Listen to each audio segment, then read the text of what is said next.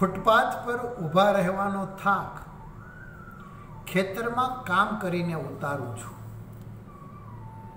મિત્રો, આપ જાણી ચૂક્યા હશો કે આ શબ્દો જ્ઞાનપીઠ પુરસ્કૃત સર્જક આદરણીય શ્રી રઘુવીર ચૌધરીના છે. રઘુવીર ચૌધરીનો આજે જન્મદિવસ છે.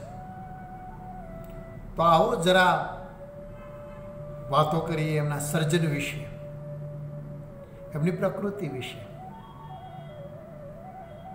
હું કેડી ખોતા શતપથમાં પ્રસર્યો. તમસા એમનો પહેલો કાવ્ય સંગ્રહ.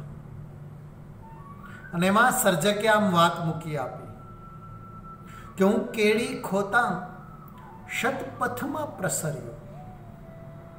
આપણે જાણીએ છીએ કે સંગ્રહ આવ્યો એ પહેલાં એમની પાસેથી પૂર્વરાગ નામે એક નવલકથા ઓગણીસો ને ચોસઠમાં મળી હતી.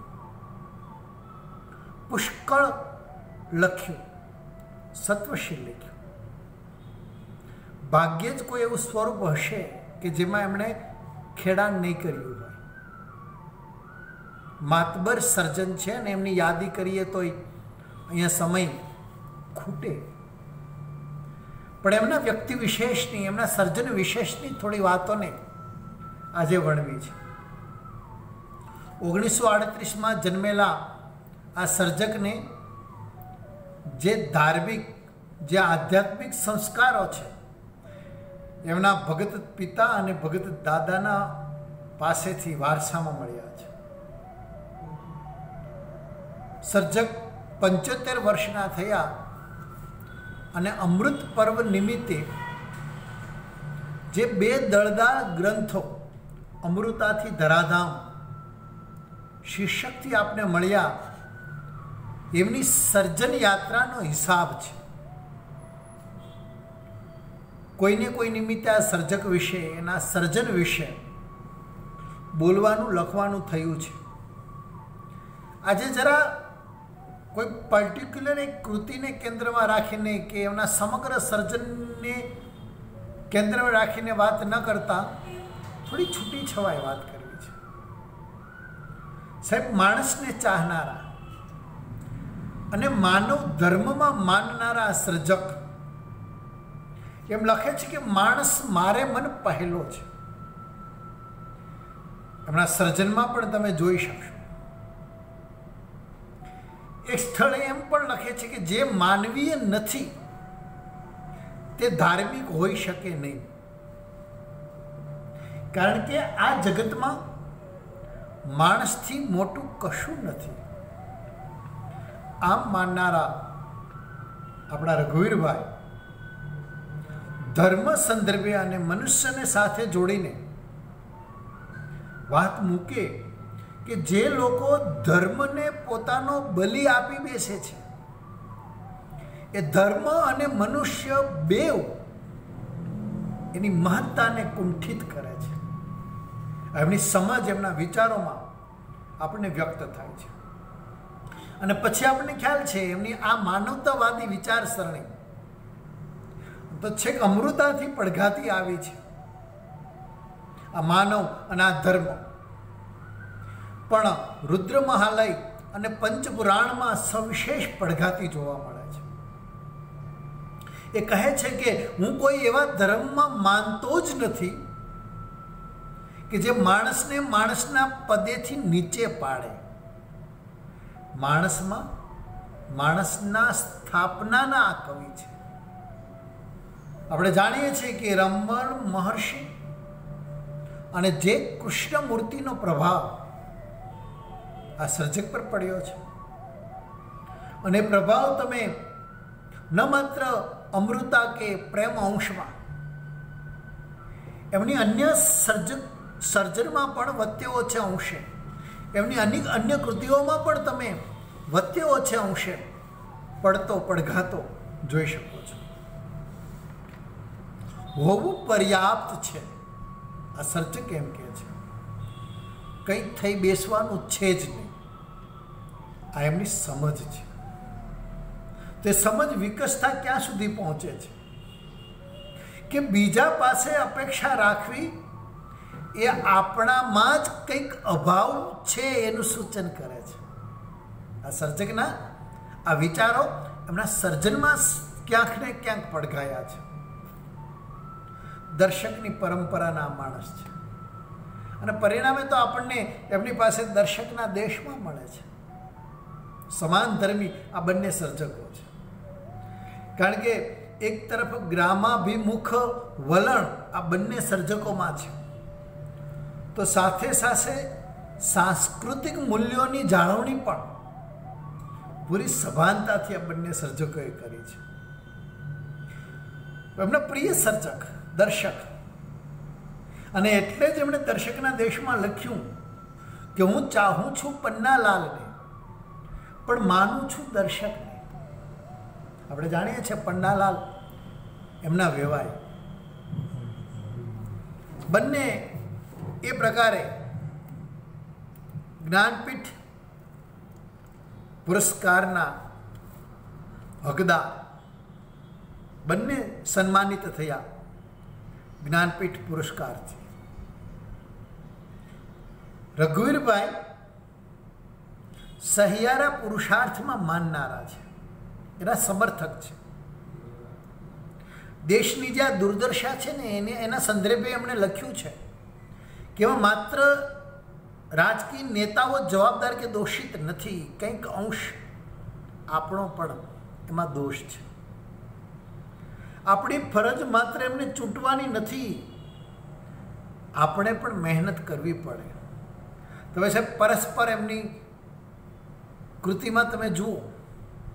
એ એમાં લખે છે કે આપણે નેતાઓ દ્વારા બધું સુધારી દેવાનું નક્કી કર્યું છે.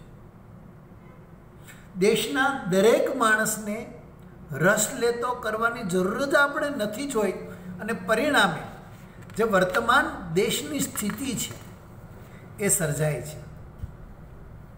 સાહેબ, આપણે એ પણ જાણીએ છીએ કે આ સર્જકે ગુજરાતી સાહિત્ય પરિષદનો જે કાયાપલટ કર્યું કરી.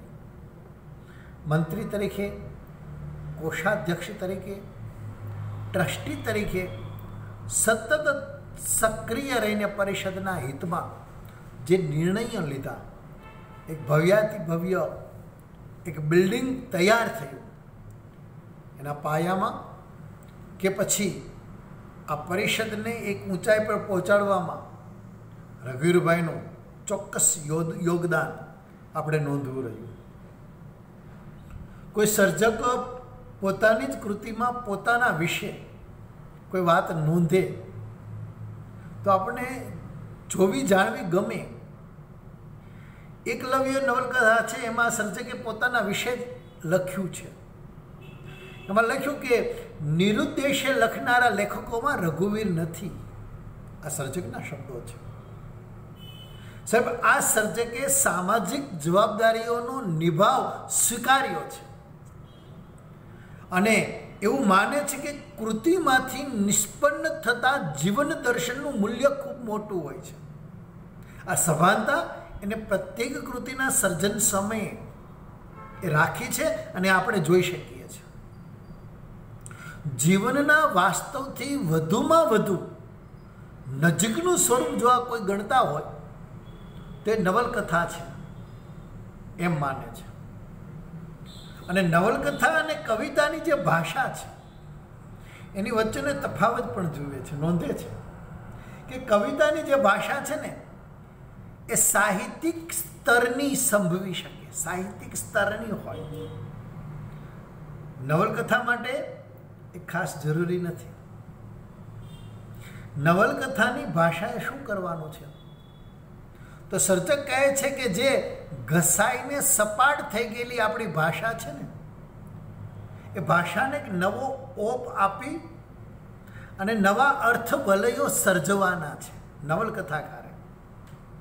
તો ટૂંકી વાર્તા વિશે પણ એમના વિચારો આપણને જાણવા ગમે. ટૂંકી વાર્તામાં જે અનુભવની વાત આવે ને, આ અનુભવને આ સર્જક સ્પર્શ કહીને ઓળખાવે.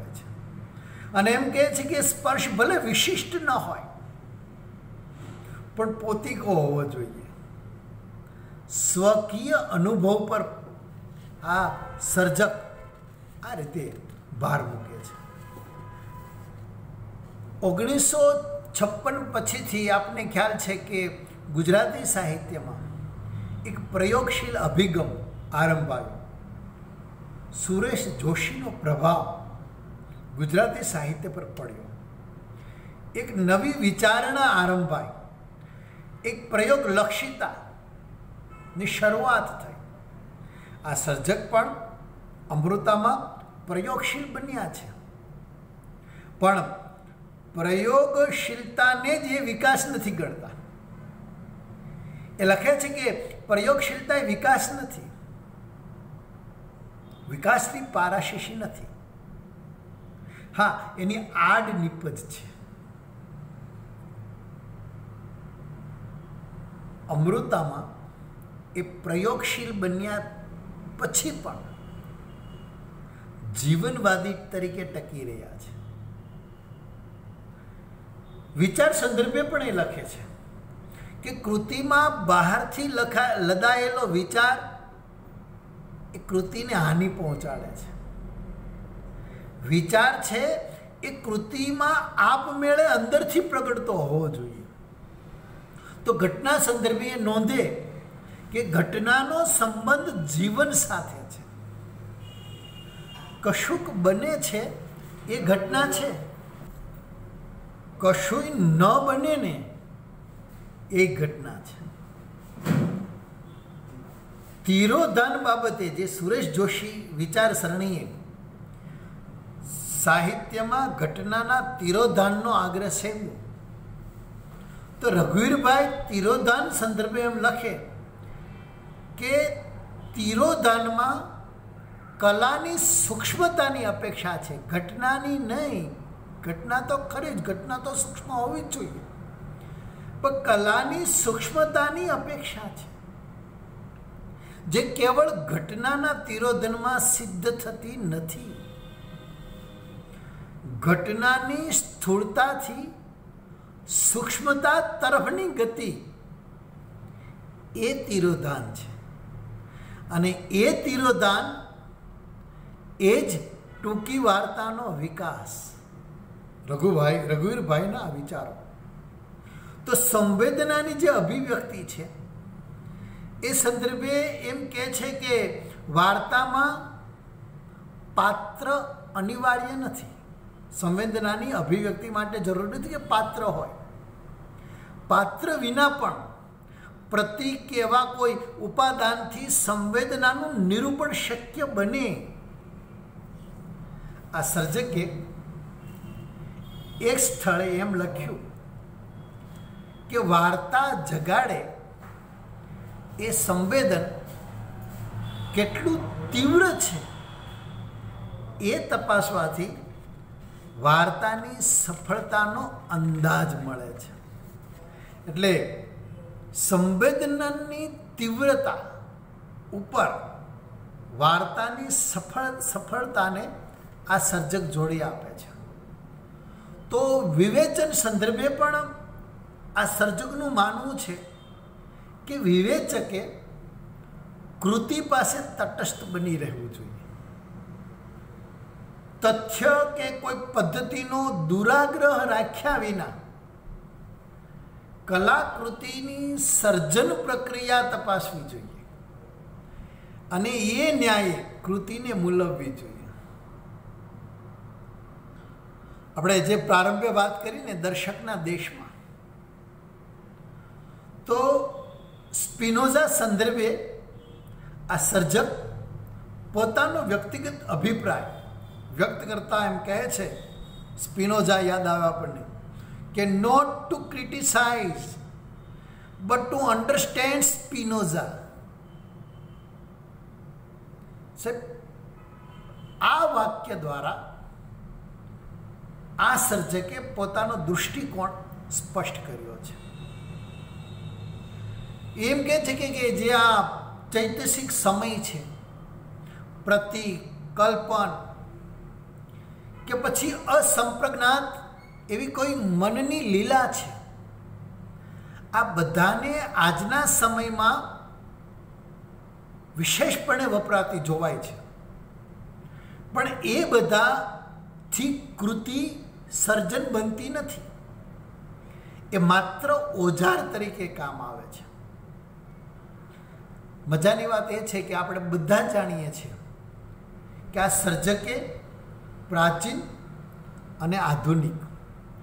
ભારતીય તત્વવેતાઓના ચિંતનને, વિચારોને આત્મસાત કર્યા છે, ઝીલ્યા છે, કૃતિમાં પણ.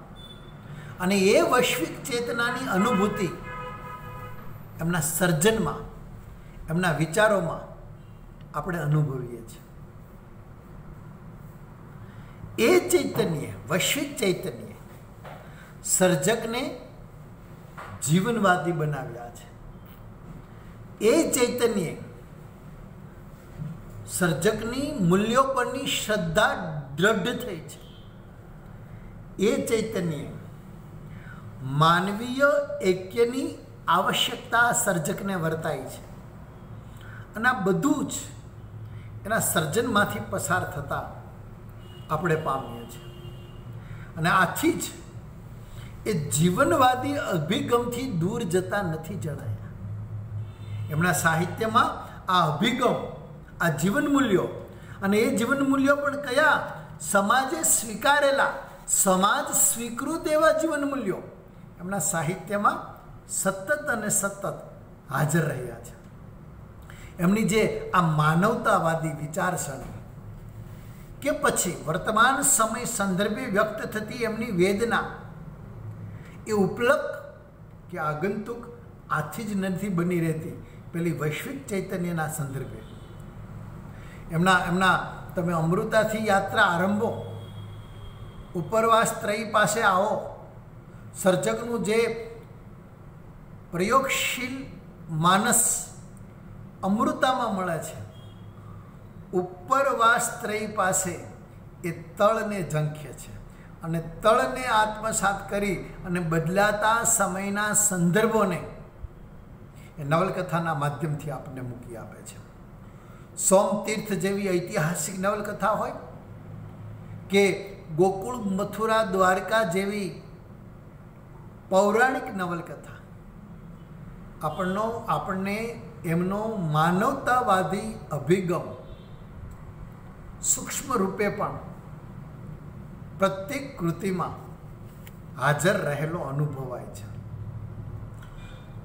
એ એ લખે છે એક સ્થળે કે સમાનતા વિનાની સ્વતંત્રતા ભૂખે મારે. સાંભળજો.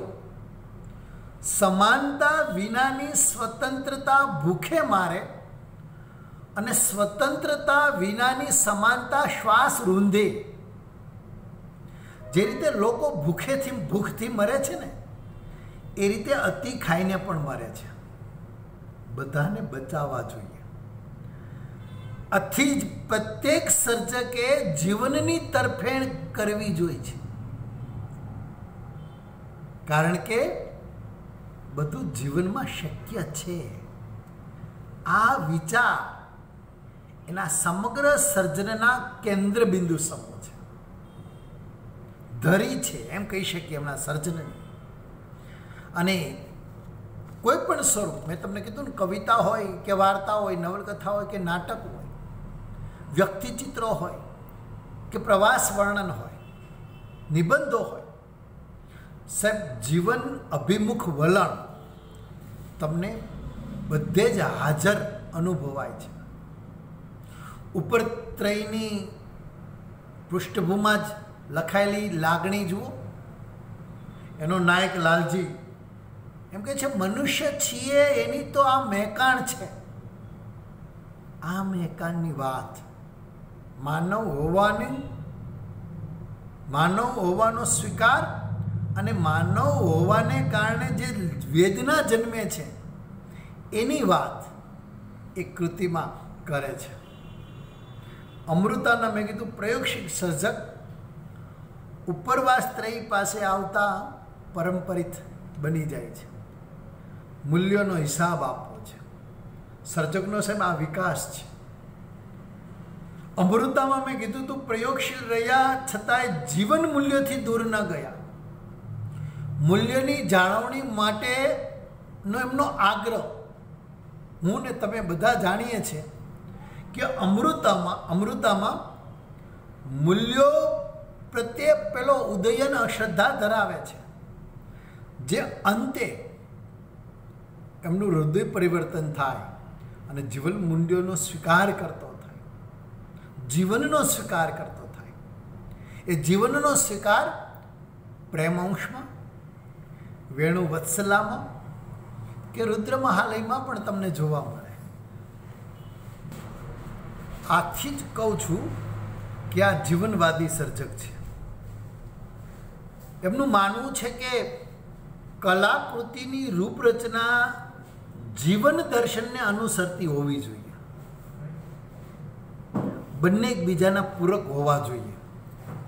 એવું રઘુવીરભાઈ માને છે. એમના તમસામાં જુઓ કે વેદના મળી મને મારાથી મોટું દર્દ જડ્યું એમના એક કાવ્યમાં એ પોતાની વાત એ રીતે વણે છે કે અધિકની આકાંક્ષામાં ધરા આપ વચ્ચે કરી ઉચ્ચા વચ્ચાનો ભેદ અધિકની આકાંક્ષામાં ધરા આપ વચ્ચે કરી ઊંચા વચતાનો ભેદ ત્રિશંકુનું પરિણામ પામવું ના. સાહેબ એમની કવિતામાં સતત વિચાર પડઘાય છે અને વિવેચકોએ એની નોંધ લીધી છે. પણ આ સર્જક કહે છે કે મારી કવિતા પર વિચારોની આંધી ચડી આવે છે. એ એ એવું માને છે કે સાહિત્ય સામાજિક પરિવર્તનનું સાક્ષી બનવા ઉપરાંત નિર્મિત પણ બની શકે. અને પોતાની કવિતા સંદર્ભે જે વિચાર છે, વિચાર વર્તાય છે એની પ્રત્યેક કવિતામાં, વિચારની હાજરી વર્તાય છે. એ સંદર્ભે આ સર્જક આ કવિ લખે છે કે મારી કવિતા કોઈના ભય, અંધશ્રદ્ધા, અસદ અને હિંસા નિવારવામાં સહેજ પણ ખપમાં આવે. તો જેને હું ફૂલ ગણું છું, એને બીજા ખાતર કહે તો પણ મને વાંધો નથી. આ આ એમની કવિતામાં જે સંવેદન સાથે વિચાર વર્ણાઈને આવ્યા છે, એના સંદર્ભે આ કવિની કેફિયત છે. માનવતા તો છે જ, માનવ જાત પર શ્રદ્ધા પણ છે. પણ એ શ્રદ્ધા જ્યારે ડગી જાય છે કોઈ ઘટના કે પ્રસંગે, ત્યારે કંઈક આવી પંક્તિ એમની પાસેથી જડી આવે કે અરે જેને આત્મવંચના ન કરી, એવા એક યુધિષ્ઠિર મળ્યો નહીં. એ કાવ્યમાં એમ કહે કે મારું ઋણાનું બનતો જુઓ, આંખ ઉઘાડું કે ફૂલ ખીલે, ને ફૂલ ખીલવાથી બધું દેખા, દેખાશે એવો ભાવ થાય.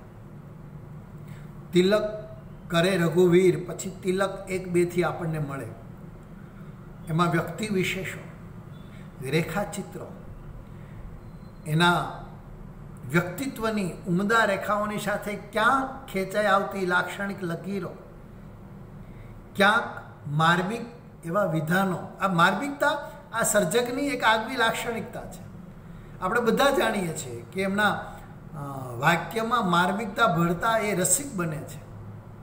હળવો અને નિર્દોષ એવો વ્યંગ.